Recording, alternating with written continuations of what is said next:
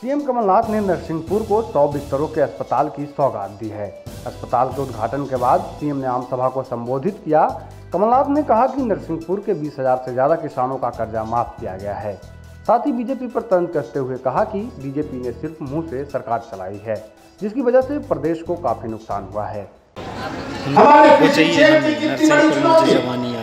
हमने वचन दिया था कि हम शुरुआत करेंगे।